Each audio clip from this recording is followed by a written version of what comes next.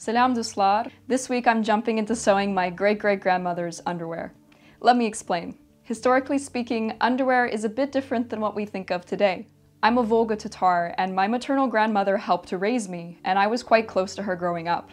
So I've always really identified with being a Volga Tatar. Contrary to common belief, us Volga Tatars are not Slavic. We are a Turkic ethnic minority group indigenous to the Volga-Ural region, mainly present-day Tatarstan and Bashkortostan or Bashkiria, which is the region that my family is from. Many of us are Central Asian, myself included, and there's a lot of deliberation among scholars regarding our ethnogenesis to the point where even now no one theory is agreed upon. But as an extreme oversimplification, we are said to possess a mix of Turkic and or Mongolian genetics, and some of us also have European genetics mixed in. And naturally, since I'm fascinated by historical fashion and love wearing it, I've been working on collecting the very difficult to find research on Volga Tatar historical fashion, and I've even recently sewed this late 19th century working class Volga Tatar dress. So this time, I'm going to be making some underwear. My grandmother was born in the 1930s, my great-grandmother was probably born around the early 1900s,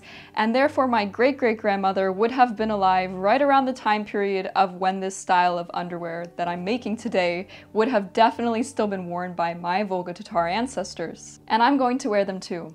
I never learned Tatar growing up, by the way, as the language was lost in my family with my mother's generation, so I'm slowly learning it now, and that has been a revolutionary experience. English actually isn't my first language, fun fact. I was maybe about two or three years old when I started really speaking English, so I've almost always been bilingual, and I have loved learning languages. Not only do they allow us to get closer to our ancestors, but they also connect us to the world and to each other. Being able to work on important projects that bring me closer to my ancestors, like this one, is made possible by the sponsor of today's video, Babbel. I've also been relearning French recently thanks to Babbel, as I studied it for five years in school and even a bit in university, but I forgot a lot of the language, so I've been practicing getting up to speed again because I find French to be very useful. Babbel has taught me useful French phrases like Je m'appelle Vasilisa and L'addition s'il vous plaît, and then more complex topics like how to describe a person's character and personality traits. Sentimental. Sentimental. C'est presque irréel. C'est presque irréel.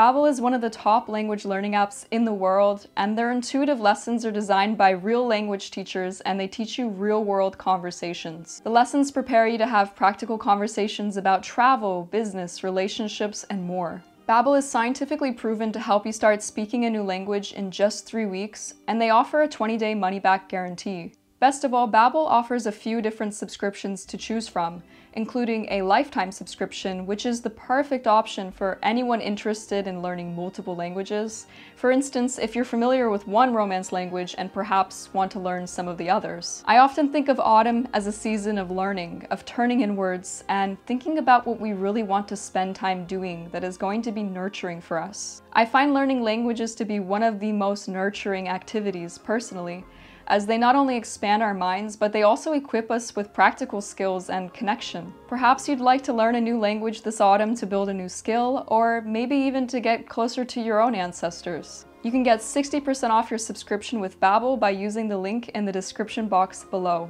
Thanks so much to Babbel for sponsoring this video. So the Volga Tatar historical underwear that I'm going to be making, I've found references for in my two books on Tatar historical fashion. As I mentioned earlier, research is extremely limited and even more limited on what undergarments Volga Tatar women in particular wore, but here is what I could dig up. So interestingly enough, both men and women wore the same type of underwear amongst the Volga Tatars.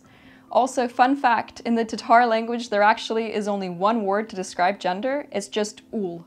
So it doesn't matter what gender someone is, you would use ul. The primary garment would be a pair of flowy ankle-length trousers, which is referred to in one of my books as pants with a wide step, also referenced simply as ushtalan. The sewing of these pants is described as being sewn wide at the waist, ankle length, with no pockets. Not dissimilar to the types of wide trousers that you see amongst other Turkish groups, and even possessing similarities to salwar from India. They're made of various materials according to my books, including linen and silk, as well as cotton. Since I want to make a working class version, I think I'm just going to stick with a very lightweight linen cotton blend for my stash. I always thought in my mind that Volga Tatar women wore undershirts beneath their dresses, but the information I've found on this is very contradictory. There was this upper garment that both men and women wore, which is described as a tunic like shirt, very loose and long, with long sleeves and a neck slit and it is further said that it is closer to the tunics of the Turkish people of Central Asia and Kazakhstan. In the Tatar language, I have seen them called kulmek, which translates now as a dress or a man's shirt. Again, the same word is being used for both. So I assumed a version of this tunic-like shirt would be worn as sort of how a chemise was worn by the Victorians,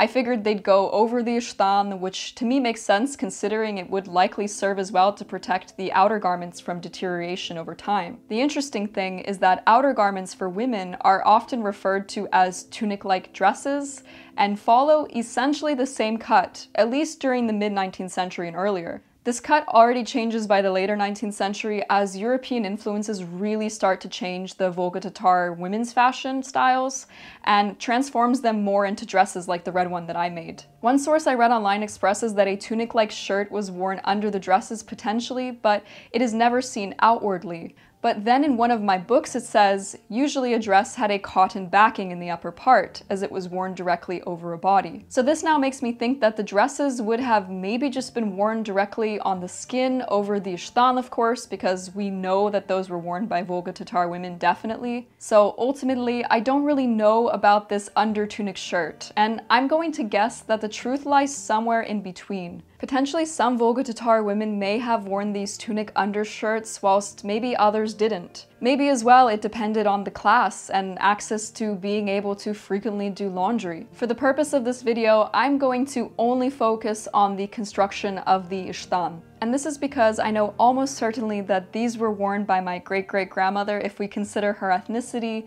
and the fact that traditional historical Tatar garments were worn at this time as just normal clothing. I'll have to draft my own pattern, so I have no idea how this is going to go. And I also can't figure out what the back of this garment is because there is no diagrams that really show a very detailed description.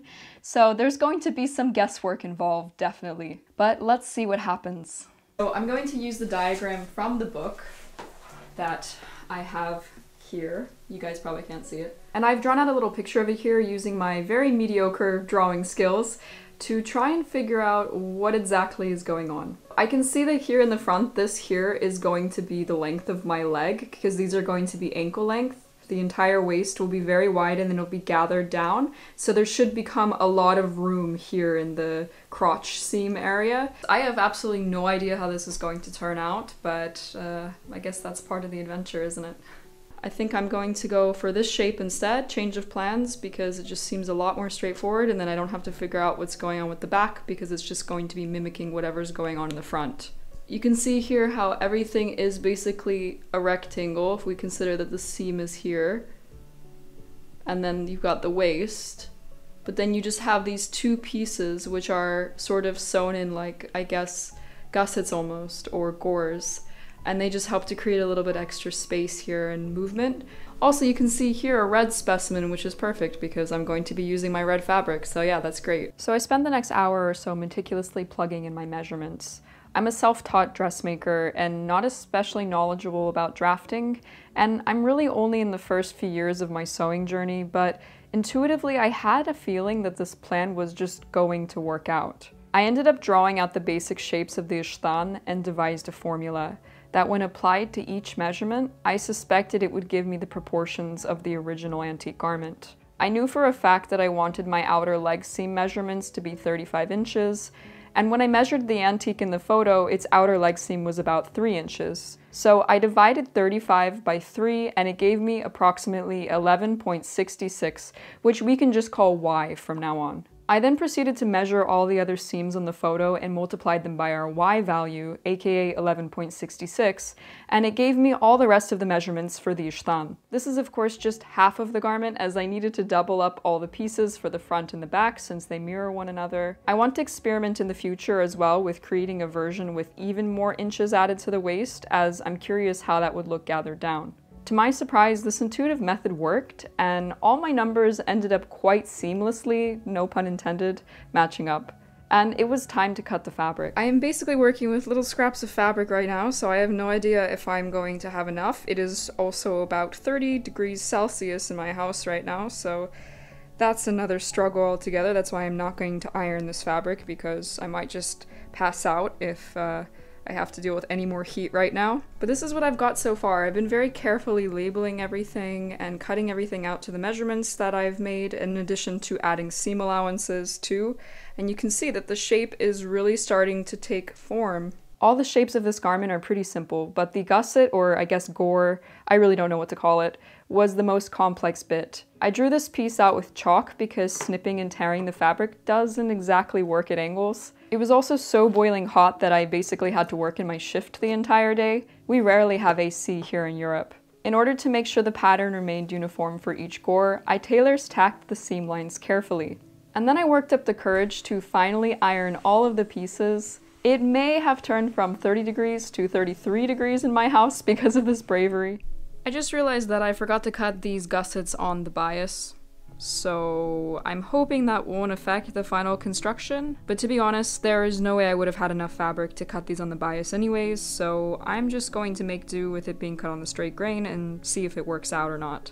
Worst case scenario, if it doesn't, we're going to be having gussets made from a completely different color of fabric. Well, that's very historically accurate. But the gores that I keep calling gussets, cut out on the straight grain, did work out, or at least for now. We'll see how the garment wears over time. So I spent the next couple of days hand stitching all of the seams neatly. I used closely spaced back stitches for their strength and durability. Just finished hand sewing this beautiful seam, and uh, guess what?